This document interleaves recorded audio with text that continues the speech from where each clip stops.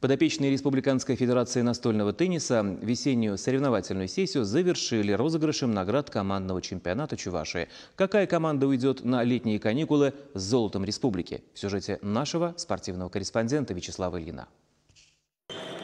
Заявки на участие в командном чемпионате Чуваши по настольному теннису подали 13 мужских и 4 женские дружины. Но если у представительниц прекрасной половины числе соискательниц мест на призовом подиуме были только жительницы столицы республики, то мужчин в протоколах значились команды из Красноармейского и Маргаушского районов.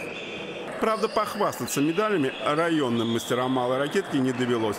Зато показали свою силу ветераны, завоевавшие бронзовые медали состязаний как в споре женских, так и мужских команд. Не так много соревнований, э, в которых мы можем помериться силами с молодежью. А также и они, немного, немного соревнований, в которых они могут сыграть с ветеранами, а мы попробуем им дать бой. Э, ну вот, э, как говорится, в этом и заключается преемственность поколений. У мужчин титула чемпионов республики завоевала команда столичной школы Олимпийского резерва в составе Даниила Соколова, Дмитрия Титова, Даниила Пышкова. В финале со счетом 3-0 переигравшая коллег по спортшколе. У женщин золото Чувашей добыло трио в составе Елены Водкина, Екатерины Воробьевой и Ники Константиновой. В числе призеров завершили турнир мама и дочь Барановы. Интересно, что на распределение медалей повлиял результат личной встречи, в которой победила дочь Мария.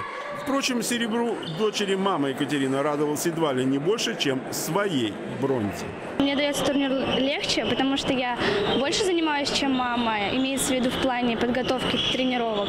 Я боялась играть с дочкой, потому что все-таки у нее а, более сейчас тренировки усерднее, и уровень игры, конечно же, выше. Мы давно, игра... давно уже не играем. Но я боролась, ну, она меня победила 3-0, но я составила конкуренцию. Но если старшие товарищи завершили официальный соревновательный сезон, то юные мастера малой ракетки в возрасте до 13 лет готовятся к российским стартам. 21 мая в Чебоксарах стартует первенство страны среди мини-кадетов. Вячеслав Ильин, Вести Чуваши.